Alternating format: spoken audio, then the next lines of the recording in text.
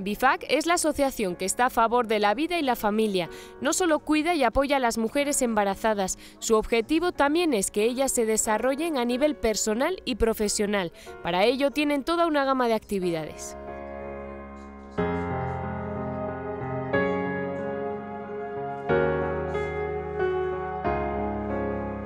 El día en BIFAC está lleno de talleres desde las 9 de la mañana, todos enfocados a la formación humana y a la superación personal. Aquí se llevan pues unos valores que el día de mañana no sabemos. Estamos sembrando unas semillitas que esperemos que el día de mañana ellas o su pareja, que van a tener seguramente, sus hijos, reciban y cosechen esa semillita que se, se sembró aquí en BIFAC.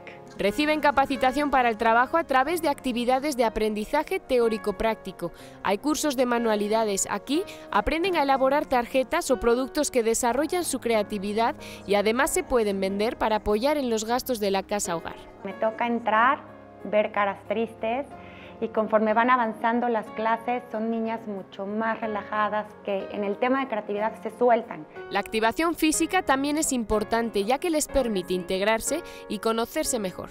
Hemos visto que se ponen más contentas, están más tranquilas, eh, mejora muchísimo su circulación, eh, los médicos les van diciendo según en cada etapa del, del, embarazo en la que estén, qué es lo que pueden hacer y qué es lo que no, y ellas me lo dicen, sobre todo para que pues experimenten bien. Hay otros talleres como el de tejido. Aquí conocen nuevas técnicas. El objetivo es que aprendan a elaborar sus productos y en un futuro incluso puedan tener un negocio que les ayude a sostener a su familia. Poder aprender algo en cuanto a manualidades, que es lo que vengo a apoyarles y con ese fin eh, que ellas puedan ser autosuficientes cuando ya salgan de aquí y este, tengan que ver por sus bebés y puedan, ¿por qué no?, poner algún negocio propio en futuro. Por último, también reciben clases de cocina y pláticas sobre catecismo. A veces las veo tristes y les digo, ven, te doy un abrazote de corazón a corazón y realmente funciona. O sea,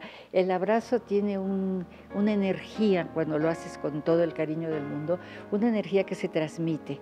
Entonces nada más se ríen y, luego hay unas que lloran conmigo, otras que se ríen, pero sí suelo darles la medicina de abrazar. Nuria Monreal, Azteca Noticias.